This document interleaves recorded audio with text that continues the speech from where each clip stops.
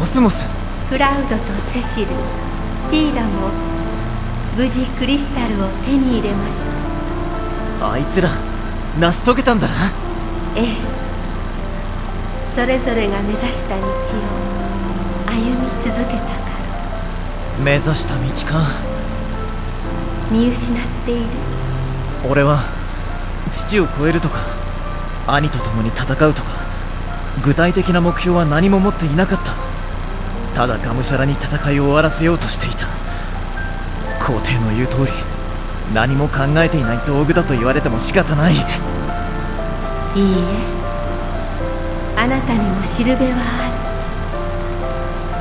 る。その胸にずっと抱き続けていた思いに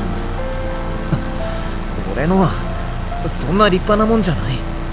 漠然とした幼い夢みたいなもんだ。聞かせて心の中にある願いと未来。野原。野原の咲く世界が俺の夢なんだ。争いを終えたら世界を花で満たしたい。失われたものを乗り越え雨や嵐すらも力になるようなそんな世界を作りたいんだ。素敵な夢。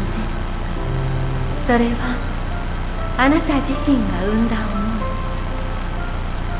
あなたが戦うだけの道具ならそんな夢は持たない。コスモス。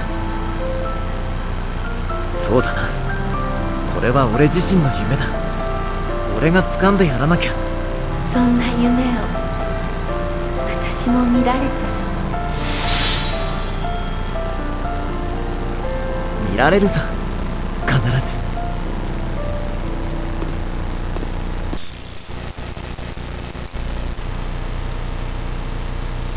目標もなく戦う道具が何の用だ？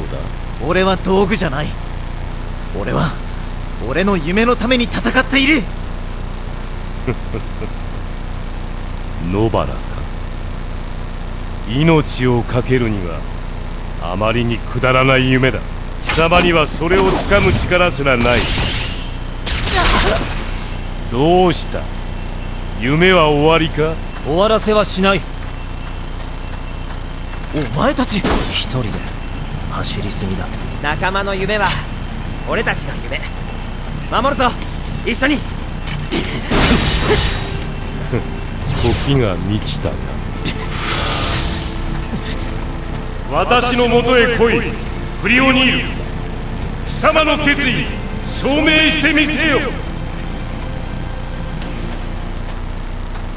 すぐにセシルやティナたちも来ると思うが一人で行くっすね。決着をつける。